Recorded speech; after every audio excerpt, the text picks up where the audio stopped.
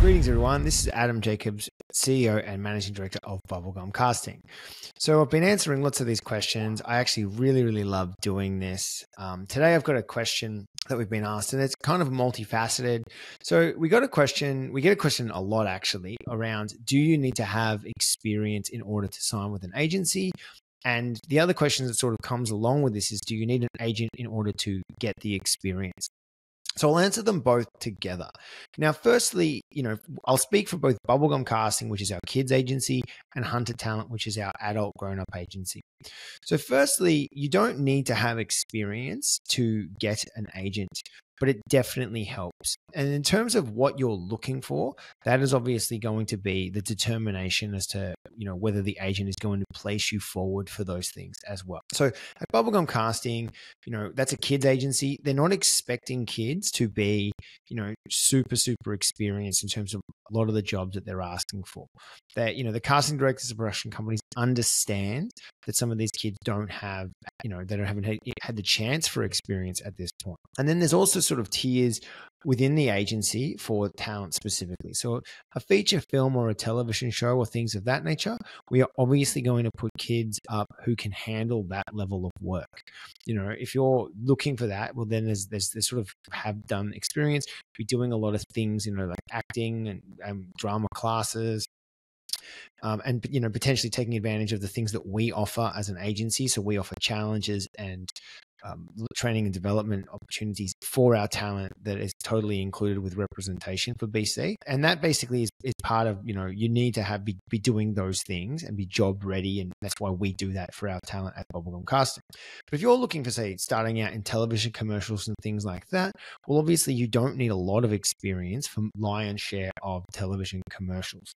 Sometimes you might, but for the most part, I would say that you don't need as much experience as you do, say, for television and film. Now, for Hunter, it's a little bit different. You obviously need to have some experience in order to, you know, to be presented for a certain level of opportunity. Again, if you're looking primarily to begin and you're starting out, well, obviously television commercials and smaller parts will, will probably be open to you and the agency will look at that. But if you come to to us and you're saying, "Oh, well, I want Marvel and Disney and I want television and things like that," and you haven't done anything, we're, we're not going to take you seriously, and we're not going to put you forward for that type of opportunity anyway. So, you know, you need to be doing a bunch of things for us to sort of see that you are actually able to be presented for those type of, of opportunities. And we won't necessarily say no to signing you if we think that you've got real potential, you've got a great look, you've got a great attitude, and you're doing some stuff in terms of training or other things so that we can start to sort of present you for opportunities. But if you come to us and you're not doing any of that stuff, when you know you don't have realistic expectations because you're obviously not doing the work that actually is involved to get that type of opportunity. Now, in terms of getting more experience outside of having an agent, so whether it's you do this stuff to go out so that you can showcase that to an agent to sort of get representation, or you know, or just getting more experience so you can put that on your resume so that you can, we can show casting directors and things and production companies that you've done stuff.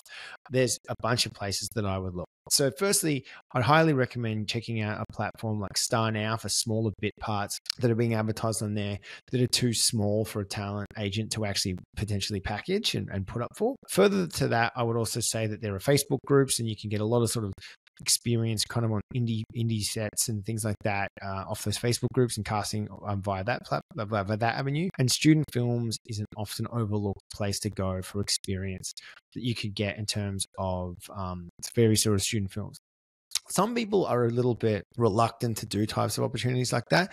And yet there's amazing films that have actually been produced by students that have gone on to win awards and, and get a lot of accolades and, things like that. And so, you know, you're getting experience, you're, you're putting things on your resume, you're building your reel, building your resume. And that's all playing into our ability to showcase you for for higher level type work. So that's one thing it's really up to you know you don't need to, to have that stuff to get an agent but obviously the agency and my specifically i'm not going to put you up for tier one uh, opportunities if you've got no experience at all like it's just because you're not going to be auditioned. Now television commercials is again is different. I would say that you know for the most part we can probably put you up for for a bunch of things that you don't have to have a lot of experience on. Now, we audition talent specifically to sign to the firm for the acting book. So we know that at least you've done monologues and you've got an ability to carry dialogue and things like that. Like we actually audition our talent to the, before we'll we'll sign you to to the firm specifically, and then we do that because we want to know that we actually can present you for certain certain opportunities, and the the, the hunter team won't say yes to you if you don't, uh, you know, for acting roles if you can't carry dialogue.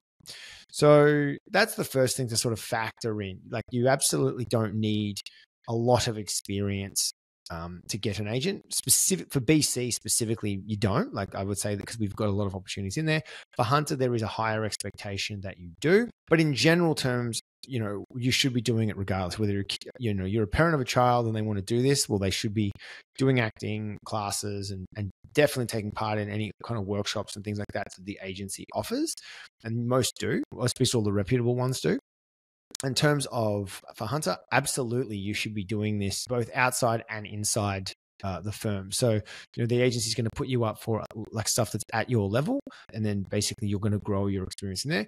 And also, it's up to you to go out and, and expand that stuff. Like your agent's not going to package you up for a student film because they don't get paid for that. I can't pay my team in fairy floss and glitter and goodwill and intention. It's like we have to make sure that the job is enough that we'll make a commission to pay pay the team to do it. So obviously they're not going to put you up for, for indie projects and things like that if there's no if there's no budget. But that being said, um, there's definitely opportunities that you can do, and your agent will be able to tell you about those opportunities as well. And I highly recommend that you know if you uh, have this question, whether it's at my firms or another firm, that you do ask these questions about how you can get more experience because there's plenty of opportunities out there for this unpaid work and this lower tiered work it'll help you significantly in terms of improving your opportunities. So I highly recommend that you do that. Now, thanks you so much for letting me like uh, listening to me today. Hope you enjoyed the answer to this question. We'll be doing a lot more of these, as I've mentioned, and uh, we're really excited about them. And I hope this uh, you found this enjoyable and interesting. Thanks very much. Bye.